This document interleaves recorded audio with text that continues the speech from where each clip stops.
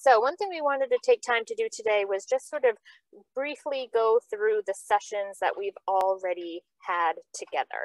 So kind of a brief content overview. So you'll recall way back when um, in session one, we had, um, or we discussed MTSS as sort of a broad overview. Um, so you'll remember this was when we talked about MTSS frameworks assisting and working for the all students, um, as well as all educators, right, and administrators that are working with those students day in and day out. Um, and this was also the session where we briefly went over some main data around special education data and had some brief conversation around, you know, how, if at all, could an, a, a high quality MTSS framework benefit those students who um, are, are identified in special education services. After that, we went into session two, which was resource mapping. So this was a session where you'll recall we discussed, um, we were having a dinner party, right? And you had to sort of prepare something for your guests with what you had available to you then and there, right? There was no grocery shopping, there was no appliance shopping. You had to uh, work with what you had available in that moment. And resource mapping sort of covered a variety of other components like facilities, people, data, um, etc. So we'll talk some more about that as we move through today as well. In session three, we went over the hexagon tool. So after we sort of gathered our resources from session two, um, then we showed you uh, an example of a tool that sort of dis um, disaggregate some information from a resource. So we focused primarily on curriculum or instructional programs in this session, and we talked about you know the need, the supports, the evidence, the capacity, the fit, etc., um, and how that particular curriculum or program that you're using fits um, the need of your school's population. In session four, we went through the capacity assessment. So this was sort of all hands on deck. Um, so once you've decided what resources are available to you, uh, maybe filtered it through the hexagon tool to determine further what's truly useful and available, and then deciding, okay, do we even have the capacity to implement this and do it well? And then our most recent session was family engagement and the importance of that in any setting, but then also how an MTSS framework could sort of help us assess our family engagement strategies and improve on those. Go for it. Um, okay, so before um, Nicole and I get into some modeling of action planning and looking at each of the different segments of, of action planning using the resource mapping as a framework, which is basically what we're going to do. We're going to take those, um, the six elements of the resource mapping that we talked about previously, and we're going to break down some of the actions that you can take around those things to kind of put them in forward motion. Um, but there's a couple of things that generally happen before we do action planning. And then there's also a process for action planning that tends to get um, some pretty good results, right? Because it it really delineates like who, the what, the why, and when, right? That those things are going to happen. Um, so the first thing that you're going to do anytime that you are getting ready to um, do action planning to solve a problem, right? To, to, or to solve a challenge that you have going on. Um, I highly encourage that you take the time to, to assess the challenge, right? And so to assess the challenge, really what you're asking is, you know, what is it that I am trying to accomplish? What is the goal that I'm trying to reach? What is the problem that I am trying to solve? Where am I now? And where do I want to be? And then you would answer that, right? You would put an answer and you'd be like, okay, well, this is where I am now, and this is where I want to go. But once you figure out where it is that you're going, there's there's always going to be things that are going to get in your way. And so to assess that challenge, what I encourage folks to do is to really sort of like stop and think and pre-populate some of the potential barriers that you could imagine getting in your way. And to do that, or, or the reason for doing that is so that you can kind of already pre-plan for them, right? So, you know, if you have a barrier and you're like, oh, this is going to be a barrier, you could always start to say, well, if and when that happens, or when or if that happens, this is how I might be able to respond. Um, it takes away a little bit of the responding on the fly um, by having it sort of like already planned out. Once you've done that, and you've gone through and done your assess the challenge and you've assessed sort of the situation you're in and the barriers that may exist, you use that information and you write a goal, right? So this is where I am. This is where I want to be. This is what I think might get in my way, but ultimately my goal is this. And then you would write down your goal. The goal then gets written on the assess the challenge um, template, but then it also gets rewritten into the top of your action plan because at this point, every single action that you take is designed to get you to that goal, right? So you want your goal to be, you know, really specific. Um, and then within that action plan, you would break it down. Well, I'm going to do this. This is why I'm going to make a target. So what part of the goal is it targeting? How long am I giving myself or how long does my team have to do that? And who is going to be responsible? And then actually writing that name in there. It's also helpful sometimes if you put two people under responsibility um, because one person will be responsible and then the other person could be accountability, right? And kind of doing it that way. And then the other thing that action planning includes, uh, and you won't want to forget, is thinking about how some of the decisions that you're making are going to impact some of the um, some of the other um, areas of your population. So economically disadvantaged. So asking yourself, you know, is my goal going to disadvantage uh, my low SES students? Is my is my target or goal going to disadvantage or marginalize my English language learners, et cetera, et cetera? So keeping a lens on, on equity at the focus. Um, I am going to go ahead and drop some links in the chat to each of these so that you can have them um, while we go through and, and work through some stuff today. Um, but these would be the two um, tools that I would suggest using as part of the action planning process.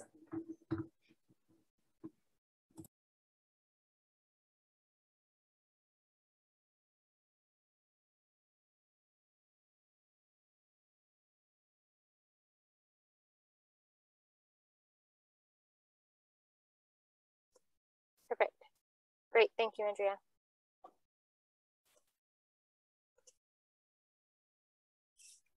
Okay. So this, let me put in present mode here.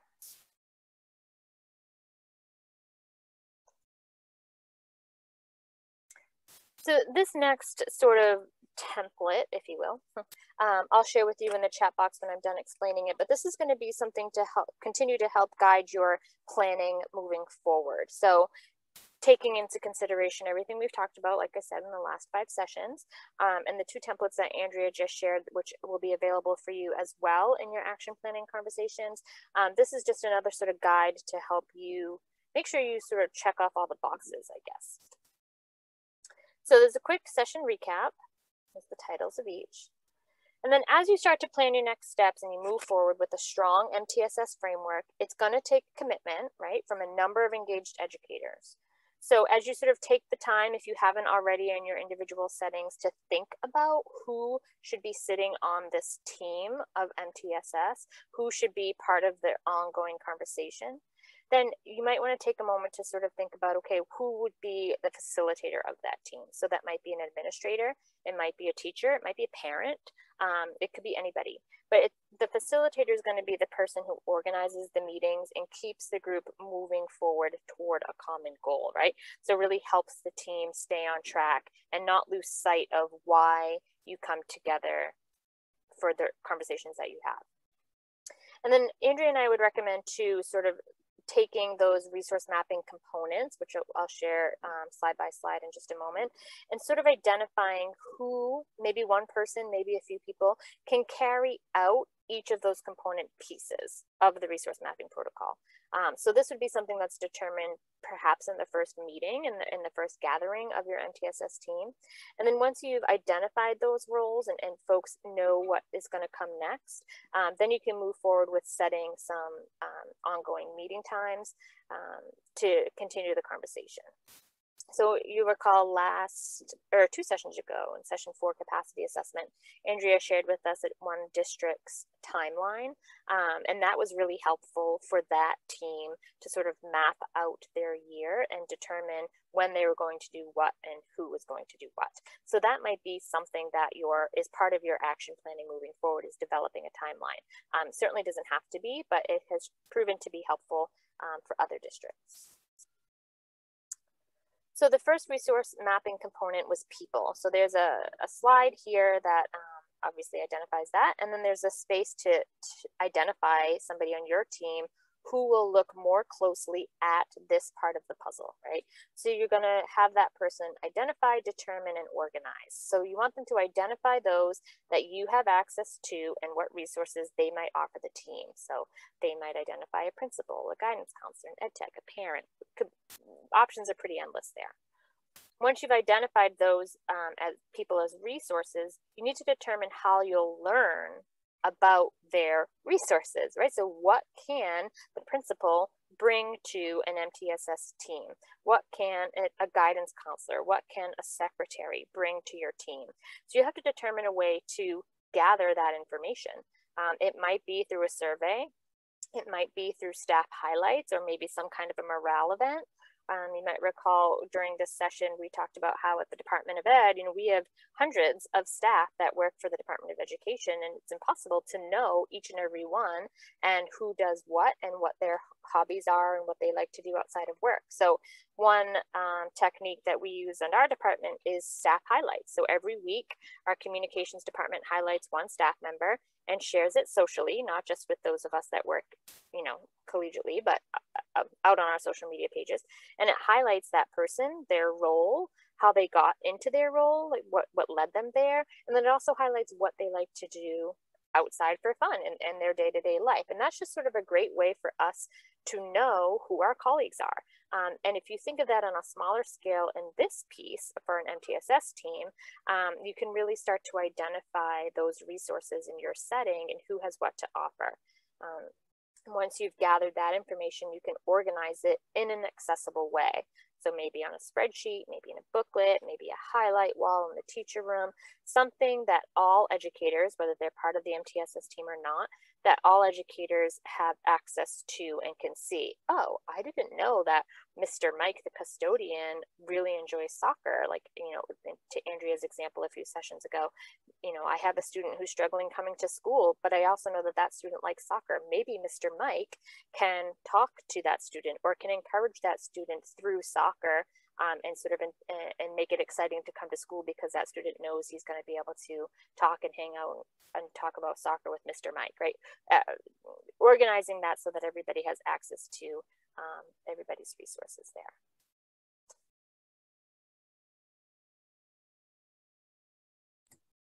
Okay, and so each of the slides that we're going to go through um, and, and, model through the next couple of um, minutes is also going to have a part two where um, here are some of the big takeaways that are not necessarily action planning, but like the big ideas that come behind each of the elements as we think about them as a resource.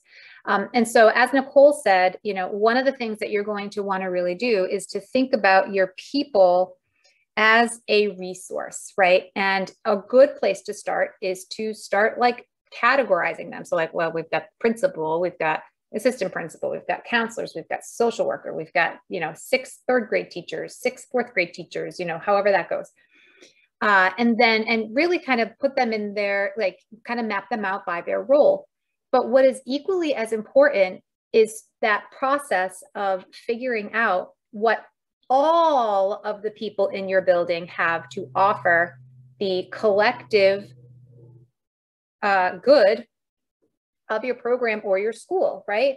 So just because a principal is a principal doesn't necessarily mean that that principal uh, loves and is good at scheduling, for example, right? So if you're looking at running an MTSS, a full scale MTSS, and you are uh, saying, geez, you know, I really am going to need to modify my schedule, my master schedule for my program or my school. Um, and that person's really not so great at that. Um, yeah, will they do it as part of their job? Sure. But wouldn't it be great if you knew that, that, you know, Mr. Bob, the secretary, loves a good scheduling puzzle and would love to sit down with you and help you with that puzzle? Just because Mr. Bob is a secretary does not mean that he can't participate in the master schedule planning if that's something that he has expertise and passion and is good at, right? So it would be really important to know like what are some of the hidden skills that the other adults have in your building? Instead of looking outside to figure out what you can bring in, look inside first, right? Um, and then the other place to think about, um, which I would also consider to be um, somewhat of an inside and an outside, is that family and community community partnerships, right? So just like that principal doesn't have to be the hero, if there are people in his charge that can do the job better and more efficiently than him or her, you are also going to have family members that are going to want to contribute in any way that they can to your program or to your school, right? And so, you know, if you knew that that Nicholas's dad is really good at you know scheduling right? We'll use that just as an example again and you have to overhaul your master schedule. Why couldn't nicholas's dad come in and help you know tell him what it is that you're looking for and let him help to figure it out? There's nothing confidential about that. There's nothing there doesn't need to be any student names no confidentiality issues but you've maximized the resources that you have available to you. So that would be the big takeaway is like make sure we don't categorize or pigeonhole people based on their title let's somehow figure out how to way to elevate um, additional skills that they may have that their title may not suggest that they have Great. So the other component of resource mapping was time. Um, so here again, there's a space to identify a lead. It might be the same person as before, it could be somebody else and that person will determine and identify twice. So they're going to determine what time that you have available to meet and carry out your goals. So looking forward at schedules, um, are you going to meet weekly and then maybe move to monthly? Um, are you going to meet before, after school? And right, and so this could be the MTSS team facilitator as well that sort of organizes this work, um, but gathering information around not just when you can meet as a team, um, but when when might be a good time available to talk talk about layering supports to work with a teacher um, who's having difficulty with a group of students or a group of students who are having difficulty with an academic content and whatnot. This person is also going to identify student time. So for example, how much time are students spending in class? Um, do they get pulled out for any additional services, right? How much time are they spending with their lead teacher versus an allied arts teacher, um, a Title I teacher, a special education teacher, etc. And how much time are they spending? Oops, my apologies. How much time are they spending um, at recess, lunch, in those allied arts classrooms, etc. And then don't forget to look at the teacher time. What does he or she have available as time in class? for prep time, for break time, etc. When can you best utilize their services and their time um, to incorporate a layered support, a conversation, um, a new resource, whatever it might be. And then how will this information be collected and assessed? So similar to last, the other component of people, how are you going to collect student time, collect teacher time, and then where is it going to be um, stored so that everybody has access to it? Part two. So my second favorite resource to think about and to reorganize um, is time. And so if you think about it, time is one of your biggest resources and it's complementary. We all have time, but we don't believe that we have time. There's no time. I have no time to do this, no time to do that, no time to do anything, no, no time, no time, no time. When it comes to time, it's it's important when you're trying to implement a full-scale MTSS to change your perspective about how you utilize time as a resource. And when you think about time as a resource rather than a constraint, meaning a resource is something that works for you, whereas a constraint is generally something that works against you. So you want to reframe your thinking about how you can use that time as a resource. Uh, you've heard the phrase probably, you know, that time is money, right? Well, it's generally true also when we're trying to use it in another way. If you have a dollar and you need to stretch that dollar as far as it can possibly go, the last place that you're going to go to spend it is a place where you can't break that dollar down into into individual components, right? So, you know, if you if you go to the store to buy a candy bar with your dollar, but you have a couple of people with you that you might want to share your chocolate with, it might be better for you to get a different kind of chocolate or like a different kind of candy, right? Because you're going to want to maximize what that dollar can provide you. If you think of a minute or a chunk of, or a five minute block or a 15 minute block or even an hour long block as a dollar and you have to think about how far was what do I have to do to the time within that block to stretch it as far as I can possibly make it so that it's working for me as a resource. You're going to want to think about how you might be able to manipulate the time that you have available to you. Um, and so, you know, how will you know if like you're if, if you're stretching your time as far as you can possibly stretch it? Well, you know, you can do a quick pulse check. Are the students succeeding? Are behaviors down among the students? Are behaviors down among your teachers? Are behaviors up, positive behaviors up among your teachers? Um, are adults still complaining that they're stressed or, and they don't have enough time? And, you know, so there are things that you can listen for that can give you really valuable feedback. And then I know that it's easy for me to say this and it's easy for Nicole to say this because we're not actually the ones that are doing it. But I implore you never be afraid to say this isn't working and fix it. Because if you were the one that wrote it in, you can be, you can also mm-hmm. advocate for the change that may need to come, right? So that's why on your MTSS team, which we don't get into a lot today, but on your team, you must have some kind of decision maker somebody that can work through a decision process with you. Um, and you also want that person to be bought into the MTSS process because if they're not bought into the process, then they're not going to want to support the changes that you suggest. Um, but time is a resource. Remember that.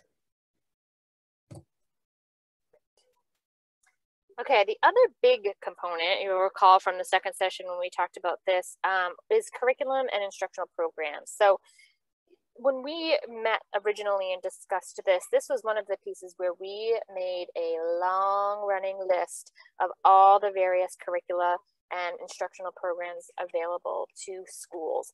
Um, and it's very possible, I would probably bet my life on it, that your setting doesn't use everything on that list. Um, so it's going to be important for you to sort of pull together exactly what is available to your teachers and to your staff and then I would encourage you to also do that by grade level. Um, so just because we use handwriting without tears in our pre-K and K classrooms, it doesn't mean that those materials um, are available for teachers in um, you know, second, third, fourth grade, etc. Um, so make sure you sort of organize it by grade. Uh, what is the title of the curriculum and the program that you have available, and what are the materials available to teachers? And then once you've done that, you can identify and go through the the fidelity requirements to implement each of those curricula and instructional programs. So, you know, what level of training is involved um, with new teachers taking on a new curriculum? What kind of ongoing training is available? What, what kind of coaching is available? Do they have specific assessments um, that you should utilize to, to make sure you're getting the right information about whatever you're implementing in your classrooms? And then I would encourage you to take a few, and maybe take all of them, um, but I know schools often have a lot. So maybe take one or two per grade and run it through that hexagon tool. See if, if, it really shapes up to be the program that you need and the program that you thought it was, right? Um, and, and you might be pleasantly surprised and you might say, oh, you want to know what? We have this, we haven't used it in a long time. And come to find out, it's not something that we need to have on our list anymore and make available to teachers. Let's move on or vice versa. Uh, we have this, we haven't used it in a really long time. It's been sitting on a shelf, but come to find out, we have some teachers on staff that um, are really qualified in implementing this, and maybe we should give it another shot. Um, so making sure you have a nice comprehensive list of everything that's available and uh, making that information available to teachers as well. Okay, don't forget we have um, this set of books in the reading library that you have access to. Don't forget we have materials for this curriculum um, to replenish or replace ones that have been loved in your classrooms or, or whatnot.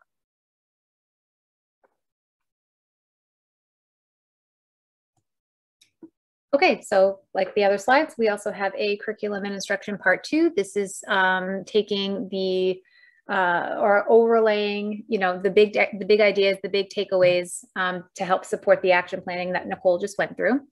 Um, and so I want you to remember, if nothing else, about curriculum and instruction planning, um, that you are in control, not the curriculum. Uh, sometimes we allow the uh, curriculum to dictate how we set up our schedules, how we group students, how we provide support to students, how we um, do all of these things. Um, but ultimately, the, it's the people that are in control, right? And so um, if there is, and so, um, so there is that. But then the other part of that, the other big idea behind that um, is like that process that we did several weeks ago where we created that list and then we looked at that list and we asked ourselves like which which tier would this go into which tier would this go into which tier would this go into um, remember because you are the one that's in control you can also change how and where a curriculum fits within your system of support.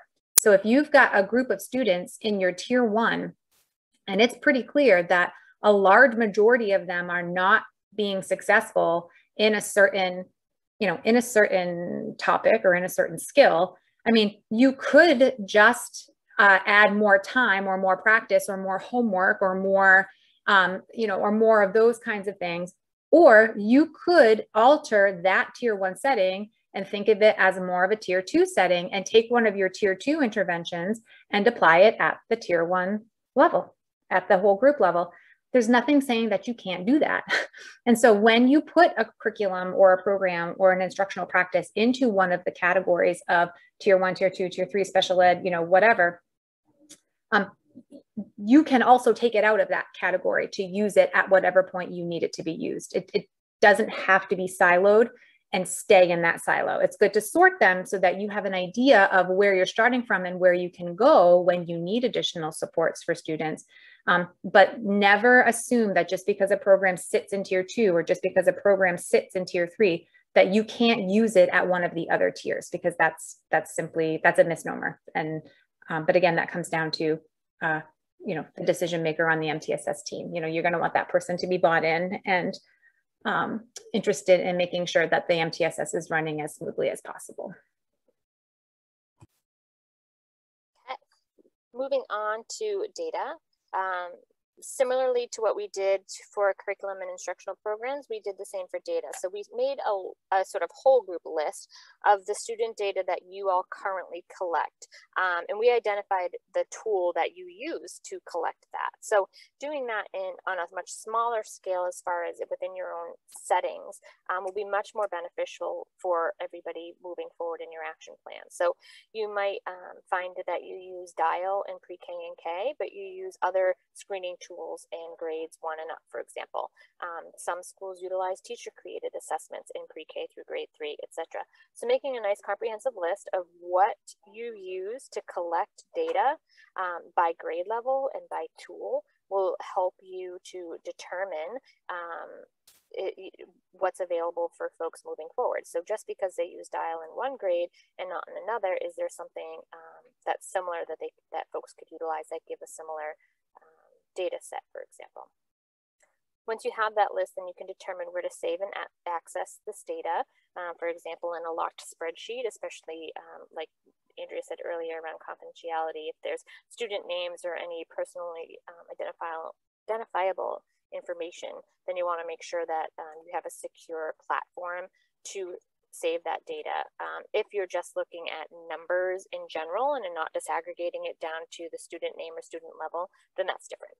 Um, and certainly you'll want to make sure that moving forward in your MTSS meetings that you're scheduling regular time to review the data and make those data driven decisions. So just because DIAL is done once in the beginning of the school year doesn't mean that information um, and data isn't collected for student growth and student development over time that should be revisited, right?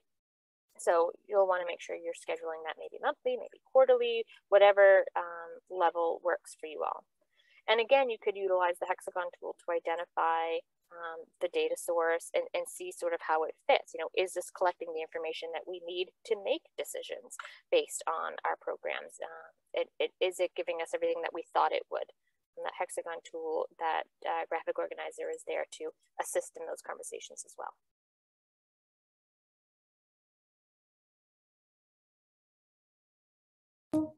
Okay, so the big ideas um, when you're thinking about data, um, is now that you've got a process that you can use for collection and um, you know and thinking about how you're going to collect the data how you're going to store the data the you know the time frame from which or the calendar blocks of when you're going to screen and things like that one big thing to keep in mind about data is that um, we always tend to have too much of it and we don't use it uh, or we have so much of it that there's too much to tell us what it is that we want it to tell us. Um, or we blindly collect it. Well we'll collect data on that. We'll collect data on that. We'll collect data on that. Um, and then look at the data and expect it to tell us something. Well i don't have to be the first one to tell you that you can make data say almost anything that you want it to say the way that you combat that as a barrier is to ask a question that you're looking for before the data is collected. If you're looking to find out just how many office referrals are happening amongst your first graders at the end of lunch, you're going to ask the question, how many office referrals are happening during this time and this time after first grade lunch, right? And then you're going to collect a certain type of data. You're going to collect office referrals between that one hour and, and you're going to collect it. So that when you go to look at the, at the data, the data itself should answer that question or should inform that question, right?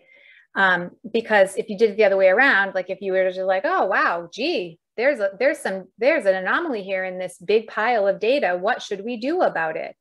I mean, yeah, you know, you you can do it that way, but I would argue that I don't think you'll get the same impact uh, as whether as if you had done it the opposite way. Know what it is that you're trying to answer so that you can collect the the correct data, the, uh, the data that will help you to get through that or get to the solution of that answer or that problem.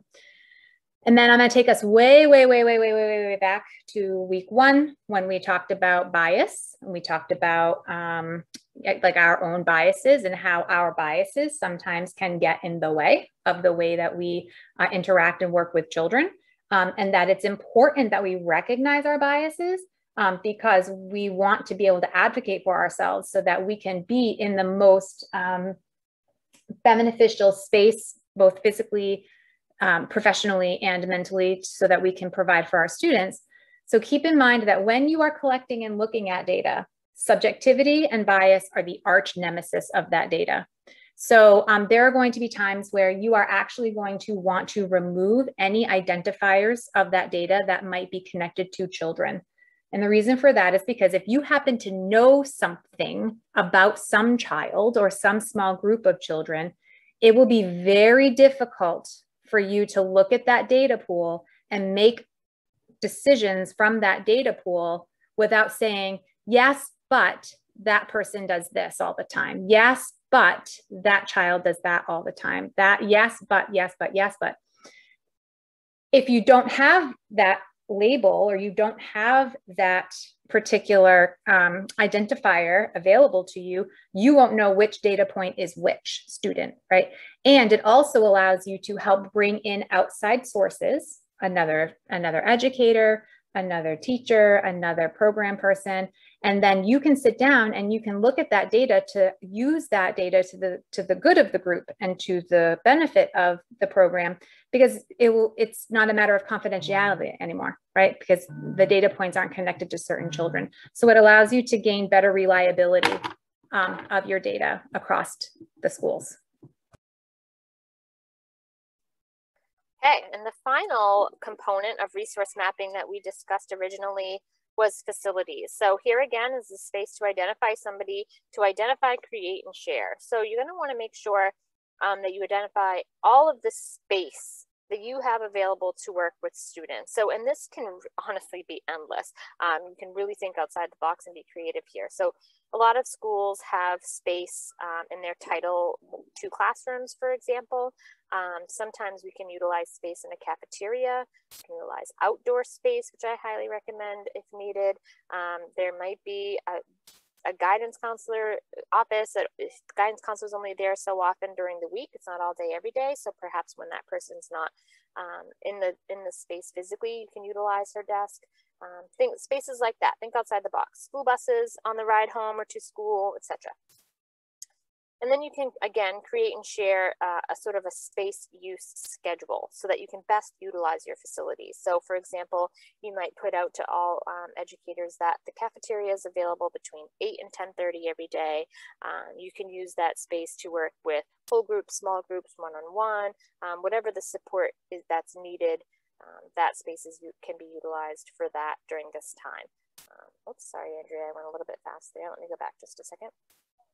Um, and then again, make sure that that's shared with the broader audience here, right? So it could be something that's posted in um, the classrooms or in a teacher's room. It might be something that goes out and is shared in a Google Drive or Google document that folks can utilize and, and see sort of in live time who's where. So if it's Tuesday and all of a sudden I need to utilize the cafeteria space, I can go on and see if anybody's in there. And if it's available, type my name in real quick so that it'll be live for others who perhaps check in. Um, so, so think outside the box, be creative. Facilities, um, facilities mapping, even having um, something drawn up and shared with folks to sort of see whose classrooms are where and what's available when um, can be a, bit, a huge resource for an MTSS team.